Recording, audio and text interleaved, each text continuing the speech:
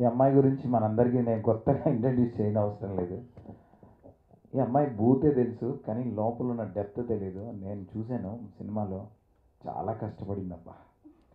చలిలో అర్ధరాత్రిలో బాత్ టబ్లో దిగితే మనకు చూడడానికి ఆ సీన్ బాగానే ఉంటుంది కానీ ఆ చలికి అమ్మాయి పరిస్థితి చూస్తే మన కళ్ళమ్మ నీళ్ళు వస్తాయి అక్కడ ఉంటే. సో చాలా కష్టపడింది. ఆన్ టైంకి వస్తుంది హుషారుగా ఉంటుంది. అందరినీ పలకరిస్తుంది. చాలా లోలో ఉంటుంది. ఎక్కడ మెయింటైన్ చేయదు. నువ్వు పలాంది తెచ్చుకోవాలి అంటే అవలేదు సార్? చెప్పేయండి సార్. వచ్చేస్తున్నాను సార్. అంటది. So thank you so much జాదా okay. ఒక పెద్ద ప్రోగ్రాంలో చూస్తున్నాం అని విన్నాం. నెక్స్ట్ వెళ్తుందని మాకు తెలిసింది. ఈ అమ్మాయి ఏమో చెప్పట్లేదు. సరే ఓకే. నువ్వు ఎక్కడ ఏ ప్రోగ్రాంకి వెళ్ళినా అందులో సక్సెస్ అవ్వాలని మనస్ఫూర్తిగా కోరుకుంటున్నాను ఫస్ట్ అందగాడు అయిపోయింది ఫోర్త్ వీక్. నాలుగో వారంలో అనిల్ గారు నేను హ్యాపీ శ్రీనివాస్ నీ వల్ల. నువ్వు ఇంకో సినిమా చేసుకో అన్నారు అన్న తర్వాత నేను ఆ రోజు చెప్పిన దగ్గర నుంచి ఈ రోజు వరకు నేను ఏటీవీలో మళ్ళీ సినిమా చేయలేకపోయాను. రకరకాల కారణాలు కరోనా ఒక పెద్ద హీరోకి చెప్పాలని ట్రై చేయడం రకరకాల పరిస్థితులు ఆ టైంలో అలా గ్యాప్ వచ్చేసింది. ఈలోగా ఒక మధ్యలో ఒక చిన్న కథ రాశాను. రాసినప్పుడు సరదాగా నేను సంజయ్ రెడ్డి గారి దగ్గర చెప్పడం జరిగింది. నా ఫీలింగ్ ఏంటంటే ఒక వన్ అవర్ తీద్దాం ఇది. ఒక లంచ్ బాక్స్ లాగా ఉండాలి కథ న్యాచురల్గా. ఏ కామెడీ గీమిడీ అసలు ఏమొద్దు అన్నట్టుగా చెప్పాను. చెప్పిన తర్వాత ఆయన అన్నాడు అసలు ఈ థాట్లో కూడా కామెడీ ఉంది కదా దాన్ని ఎందుకు వదిలేస్తున్నావు? సో ఇది టూ అవర్స్ మూవీ కింద చేద్దాం సాంగ్స్ కూడా పెడదాం అని.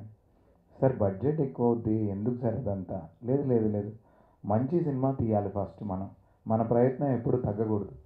సో అని సంజయ్ రెడ్డి గారు శేఖర్ రెడ్డి గారు ఈ సినిమా ఎక్కడ కాంప్రమైజ్ అవ్వని అవసరం లేదు. ఇది టూ అవర్స్ మూవీ అవ్వాలి తప్పకుండా. ఇది మంచి కథ అని అన్నారు. ఇది గొప్ప కథ అని చెప్పను కానీ నేను ఖచ్చితంగా మనం చూస్తున్నంతసేపు మంచి టైంపాస్ తోటి ఆ బాగుంది సరదా సరదాగా. అలా వెళ్ళిపోయింది. ఒక ఫీల్ ఒక ఎమోషను. దానికి తగ్గట్టుగా మంచి మ్యూజిక్ ఇచ్చాడు. దానికి మించి ఆర్ఆర్ ఎక్స్పెక్ట్ చేస్తున్నాం.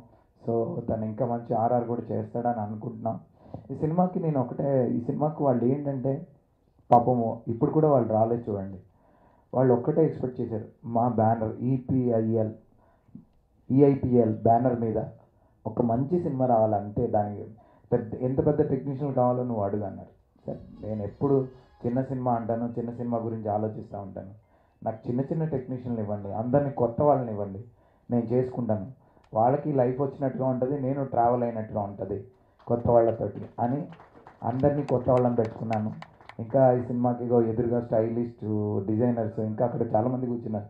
కుర్చీలు జరిపోక వాళ్ళందరూ కూడా కొత్త వాళ్ళే సో అందరినీ వాళ్ళని పెట్టుకుని ఒక చిన్న సినిమా ప్లాన్ చేసాం అది అందంగా తీసుకురావడానికి మా ప్రయత్నం మేము చేసాం మీ బ్లెస్సింగ్స్ ఎప్పుడు ఉండాలని కోరుకుంటున్నాను.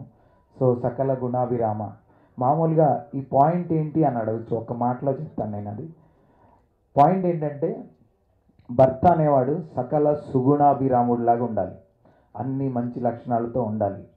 సో ఈ రామ్ అని పేరు పెట్టుకొని ఇతను చేసిన పొరపాటు ఏంటి? ఒక సీత లాంటి వైఫ్కి ఏ పొరపాటు చేశాడు? దానివల్ల ఎలాంటి ప్రాబ్లమ్స్ ఫేస్ చేశాడు? మళ్ళీ ఆ ప్రాబ్లమ్స్ నుంచి బయటపడి వాళ్ళిద్దరూ మళ్ళీ ఎలా కలుసుకున్నారు అనేది ఒక చిన్న సినిమా కదా దీన్ని అందంగా ఫ్యామిలీస్ చూసే విధంగా అలాగే యూత్ను కూడా వదిలేయకుండా వాళ్ళని కూడా పట్టుకొని చిన్న ఇది రొమాన్స్ అది ఇది పెట్టుకుంటూ జాగ్రత్తగా వర్క్ చేయడం జరిగింది. చాలా బాగా వచ్చింది. సీన్స్ చేస్తున్నంతసేపు సెట్లో నవ్వుకుంటుంటే మనకు ఒక నమ్మకం వస్తుంటుంది. కామెడీ గిమిడీ బాగుంది అని. సో అంతా చాలా బాగా వచ్చింది. ఈ సినిమా కథ ఒక దగ్గరికి వచ్చిన తర్వాత నాకు ఆగిపోయింది. ఒక క్లైమ్ ప్రీ క్లైమాక్స్ క్లైమాక్స్ దగ్గర. ఆ టైంలో నా శిష్యులు బాను నందు సరే ఏంటి సార్? అంటే ఇలా కథ ఒక దగ్గర ఆగిందిరా ముందుకెళ్ళట్లేదు. చాలా బాగా వచ్చింది. అంటే సరే మేము కూర్చుంటాం సార్ అని నా దగ్గర అర్ధ రూపాయి కూడా అడగలేదు. నేను ఇస్తుంటే కూడా సార్ పర్లేదని. ఏదో గిఫ్ట్ తీసుకున్నారా తప్ప డబ్బులు పెద్దగా ఎక్స్పెక్ట్ చేయలేదు.